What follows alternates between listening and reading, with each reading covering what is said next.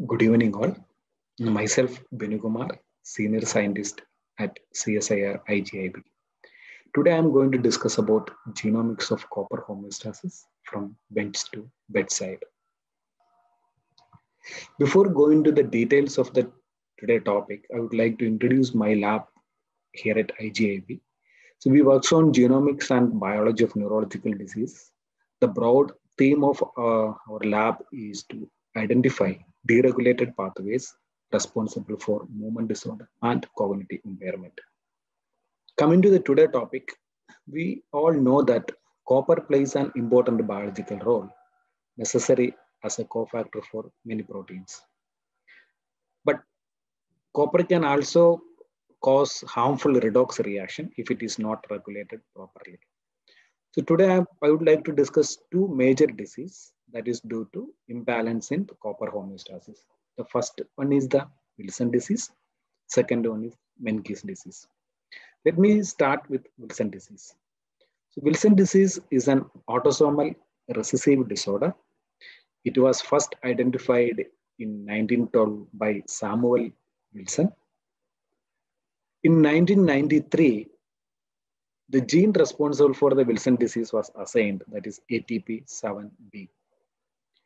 The global prevalence rate of the Wilson disease, 1 in 10,000 to 1 in 13,000, and the carrier rate is 1 in 90. Unfortunately, in India, we don't have a prevalence data yet. Wilson disease predominantly precipitate two manner. So one is neurological complications and the other one is the hepatic complications. Neurological complications includes Parkinsonism, dystonia, tremor, chorea, and migraine. Hepatic complications includes hepatomegaly, splenomegaly with the portal hypertension, hepatitis, cirrhosis, later stage hepatic failure. Subset of the patients, we can also see psychiatric problem as well. There are different biochemical methods are available to diagnose the Wilson disease that includes urinary copper excretion, measurement of urinary copper excretion, measurement of serum free level copper, determination of hepatic copper content, and serum ceruloplasmin level measurement. But these biochemical parameters are not at all reliable because it can also overlap with other liver diseases. So that is why genetic testing is important. Coming to the structure of ATP7B protein, uh, similar to other copper transporter, it has a copper binding domain, transmembrane domain, and ATP binding domain. So there are different genetic aberrations in ATP7B is reported. So that includes single point mutation, deletion, insertion, duplications. This all leads to protein misfolding. When we started our project, what we did is we tried to collect all the variations reported so far. So we used a different database that includes Wilson disease, Alberta, ClinVar, LOVD. We and literature survey, we could able to collect 4,755 variants associated with Wilson disease. so after uh, careful uh, checking and removal of the duplicates, we were able to get 1,799 unique variants associated with the Wilson disease. Then we did the ACMG AMP classification of this uh, variants. So here you can see that 54% of the variants belongs to the VUS category. Then 25% of the variants belongs to the pathogenic category. 13% of the variants belongs to the likely benign. And 7% of the variants belongs to the benign, cate benign categories. So you can also see different type of mutations are presenting uh, that span across the ATP7B gene. So that is, that includes frame shift insertion, splicate mutation, frame shift deletion, stop gain, stop loss, etc. So then we try to map this mutation in ATP7B gene and try to see is there is any particular exons are any particular exons uh, are responsible or any particular exons having a more number of mutations. We can see majority of the mutations are clustered in a particular exons. I will explain the importance of this later part. So you can also see that uh, mutations are predominantly concentrated on copper binding domain as well as the ATPase domain. So then we try to see the global prevalence of the disease. Uh, China has more number of Wilson disease patients and India is holding the second position. So then we use a population database, different population data sets and try to see a particular variant can be act as a screening of particular population. So here you can see that particular variants is predominantly expressed in a particular set of populations. So those variants can be act for screening the, those particular population. According in India, so we can similar to the global uh, scenario. So there are particular mutations are more concentrate on the particular exons. So based upon this data, uh, we actually developed a Wilson disease database. So the advantage is if a clinician find a particular variant, if you want to know the status of this variant, so you can simply type this variant in this database. So that database will tell you whether the particular variant belongs to the VUS category or pathogenic or likely pathogenic category. So this we published the last year then coming to the second uh, second disease associated, uh, associated with the copper imbalance is the Menkes disease. It's an X-linked disorder. So here you can see the comparison of Menkes and the Wilson disease. So in the Menkes disease, it's a um, X-linked one, and the Wilson disease, the chromosome number 13. Inheritance is X-linked recessive in the case of Menkes, and the Wilson disease autosomal recessive. The gene product is, in the case of Menkes, it's ATP7A, and in the case of Wilson disease, ATP7B. Expression is the ATP7A in all tissue except liver. ATP7B is expressed predominantly expressed in liver, kidney, placenta. So disease onset in the case of Menkes disease at birth. In Wilson disease case, it's late childhood. So the Menkes disease, it's uh, you can see the cerebellar degeneration, abnormal hair, and majority of the cases early death. In the case of Wilson disease, liver diseases, neurological signs, it can survey late adulthood. So Menkes disease, copper can't get out of the enterocyte. So ultimately it's a copper deficiency. Wilson disease, copper can't get excreted from the hepatocytes. So it's a copper accumulation. So similar to the Wilson disease gene. So here also in the case of Menkes disease, we collected all the variants reported so far from the different data sources. So we could able to get a six node seven variants. So after careful uh, analysis, so four node so four node four variants are unique. So then we did the ACMG for this four node four node four variants. In addition to the ACMG, we also try to model in some of the selected variants. So here you can see that majority of the mutations are present in the exonic region and 12% of the mutations belongs to the intronic region. In addition to that, you can also see the mutation at splice site 5-UTR and 3-UTR. So coming to the ACMG classification, you can see 57% of the variants belong to the VUS category. 23% of the variants belong to the pathogenic category.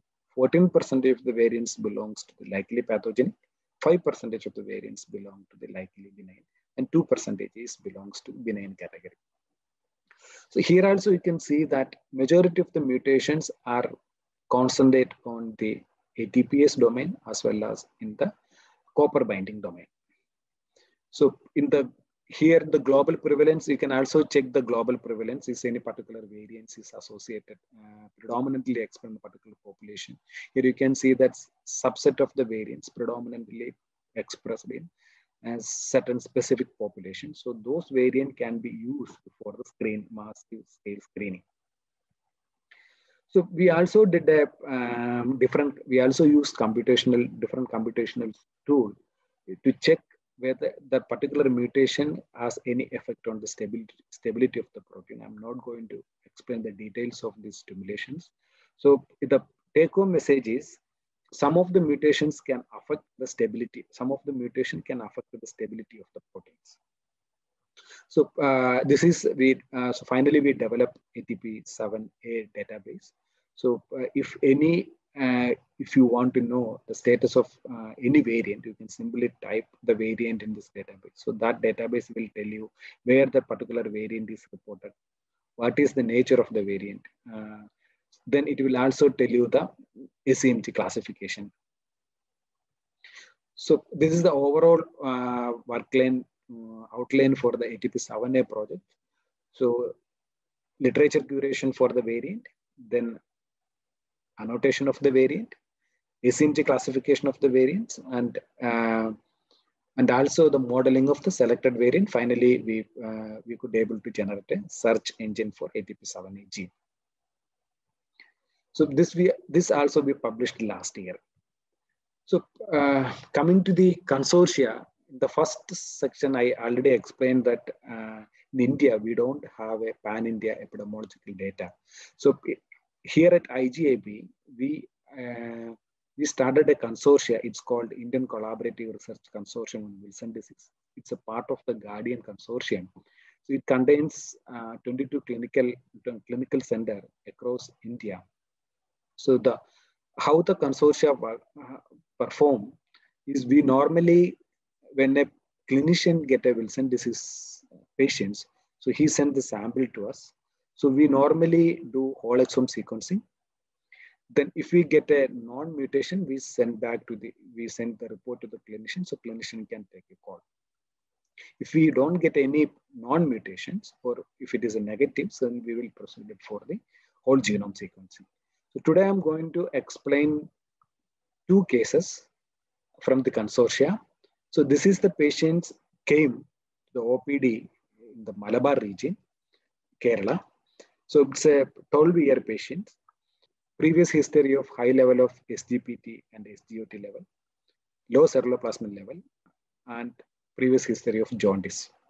So we did the whole exome sequencing for these patients we could able to find a mutation in the exon number two. So these mutations we validated in Sanger. So then we also want to see the segregation. So we again check for the father. The father has a heterozygous variant for the same mutation.